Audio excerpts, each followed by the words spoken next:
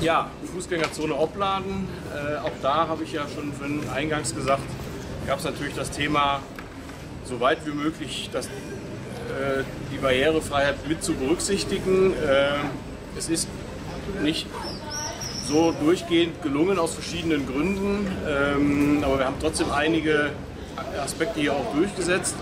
Ein langes Thema war eben die Bänke, nicht nur wie sollen sie denn aussehen, sondern auch wie kann man sie für alle Nutzer äh, freundlich machen. Und wir haben hier die äh, den Sie immer sehen, dieser neue Pflasterbelag, der hat ja eine leichte Neigung zur Seite hin. Das hat auch was mit der Entwässerung der Fläche zu tun. Und es gab eben Diskussionen, wie bauen wir jetzt die Bänke ein, parallel zum Gefälle oder so, dass wir sie eben an einer Stelle auch durchaus höher einbauen können, weil ältere Menschen gerne eben höher sitzen. Ähm, und es gab auch eine klare, ja, das sieht man hier nicht so, sieht man in der Kölner Straße, ist es äh, etwas augenscheinlicher.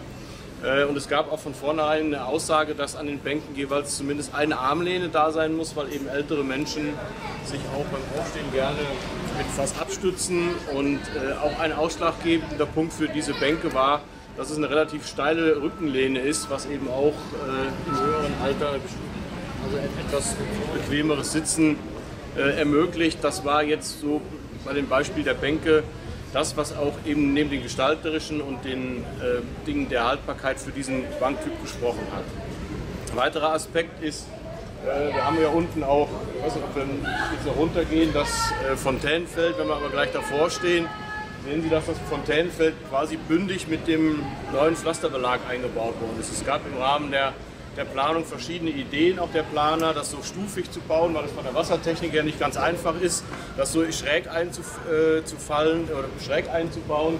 Wir haben uns aber dann ganz klar dafür ausgesprochen, eben eine bündige Einbauart zu wählen und nicht irgendwo Ecken und Kanten und kleine Spitzen, die man dann gegebenenfalls auch wieder markieren muss und wirklich auch Stolperkanten sind, ähm, sodass also dieses Wasserfontänenfeld dann äh, wirklich bündig eingebaut ist. Es war ein bisschen aufwendiger dann das von der Wasser- und Regeltechnik her so hinzukriegen, dass das Wasser auch entsprechend gleichmäßig sprudelt und abläuft, aber es äh, funktioniert ja jetzt. Das waren so Dinge. Äh, wir haben auch hier diskutiert über eine Weiterführung der, des taktilen Leitelements äh, hier entlang der Haupt der, ähm, der, äh, des neuen Pflasterstreifens äh, sind dann aber aus verschiedenen Gründen davon abgegangen. Zum einen, weil es keine eindeutigen Anschlüsse auch an den Straßenenden gibt. Das heißt, man wäre zwar gut durch die Fußgängerzone gegangen, dann aber irgendwo nicht mehr weitergekommen. Und es gibt in, diesem, in der Fußgängerzone natürlich sehr, sehr viele Querbeziehungen, die hier äh, nicht mit diesem taktilen Leitsystem komplett hätten abgebildet werden äh, können. Äh, zumal wir ja auch diesen Pflasterteppich nur teilweise aufgebaut haben. Wir haben also hinten auch die Querung dann zur, zu dem Parkplatz. Also da äh, ist auch nicht nur, aber auch vor allen Dingen aus letztendlich finanziellen Gründen äh, von Abstand genommen worden, hier ein flächendeckendes, durchgehendes taktiles Leitsystem zu machen. Äh, der Kontrast zwischen dem neuen Pflaster und dem alten Pflaster ist schon so eine Art äh, Orientierungshilfe. Deshalb haben wir also in den Randbereichen dieses Übergangs von altem dunklen Pflaster zu neuem hellen Pflaster eben diese Übergänge auch äh, fast überall einbaufrei gehalten, sodass man sich da optisch ein bisschen an dem Farbkontrast auch orientieren kann. Ähm, ich weiß jetzt nicht, ob wir noch runtergehen, äh, sonst will ich es eben auch erwähnen. Was, äh, Sie sehen natürlich hier die Eingänge, die Sie hier vorfinden, die sind natürlich nicht alle barrierefrei. Das hat ein bisschen auch was mit der Historie der Straße zu tun. Das war ja mal eine klassische Straße. Man hat dann irgendwann diese Fußgängerzone hier reingebaut zu den Zeiten, äh, sicherlich noch nicht an allen Stellen über barrierefreie Zugänge nachgedacht. Das wäre jetzt im Rahmen der finanziellen Möglichkeiten nicht äh, drin gewesen, hier jetzt alles barrierefrei zu machen. Wir hätten im Prinzip das ganze, die ganze Straße nach oben heben müssen. Das hätte nicht funktioniert, aber es gibt einige Stellen, vor allem auch in der Kölner Straße, wo dann die Eigentümer auf uns auch zugekommen sind und haben gesagt, wir würden gerne unsere Eingänge zu den Ladenlokalen, auch zu den Wohnhäusern barrierefrei gestalten. Das dürfen die Eigentümer nicht selber machen, sondern die Maßnahmen sind dann von den technischen Betrieben ausgeführt worden. Aber wir haben mehrere äh, Orte unten in der Kölner Straße, wo man jetzt wirklich sieht, dass es äh, angepasst ist und dass da also keine Treppenstufen mehr sind.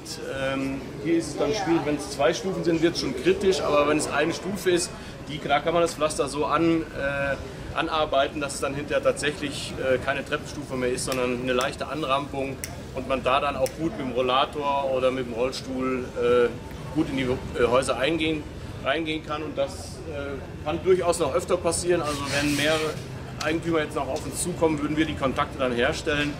Ähm, aber das ist, wie gesagt, unten in der Kölner Straße sind die Unterschiede etwas höher, da kann man das ganz gut sehen.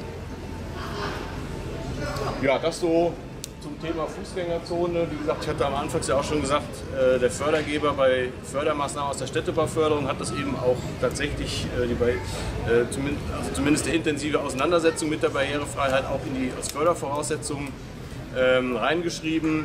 Wenn Dinge nicht funktionieren oder sie nicht ganz diengerecht ausgeführt werden sollen, dann muss man das entsprechend auch begründen, muss es auch entsprechend in die Akten reinpacken, damit es später nachkontrolliert werden kann. Ähm, das haben wir hier soweit, wie gesagt, in den Möglichkeiten zur, zur Verfügung standen, geschafft. Auf der anderen Seite ist das Thema Barrierefreiheit aber auch bei anderen Projekten der Förderzugang. Zum Beispiel bei der Schule Hedrichsfeld war es eben eine ganz klare Aussage auch, dass nur mit, wenn die Barrierefreiheit hergestellt wird, die Umbaukosten dann auch aus Städtebaufördermitteln finanziert werden. Also das ist eine ganz enge Verzahnung. Soweit zum Thema Fußgängerzone. Vielen Dank. Zum Abschluss kommt in der Regel noch die Wünsch dir was Frage. Eine Million Euro bringt der liebe Gott vorbei im großen Geldkoffer. Was wünscht sich der Barat für Behinderung dann?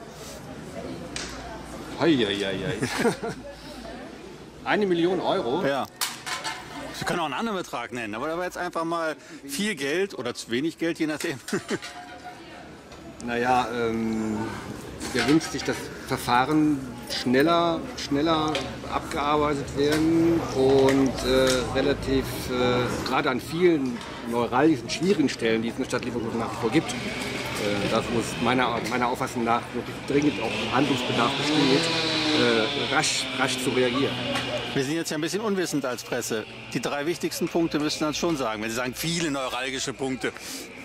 Ich könnte eine ganze Liste machen von, von, von guten, neu gestalteten Bushaltestellen, zum Beispiel in der Blutstraße, bis, bis über andere Stellen. Muss ich jetzt nochmal mal graben in meinem Kopf jetzt sozusagen. Aber äh, es gibt viele Stellen. Melden Sie uns hier nachher noch zu? Aber nicht machen Perfekt.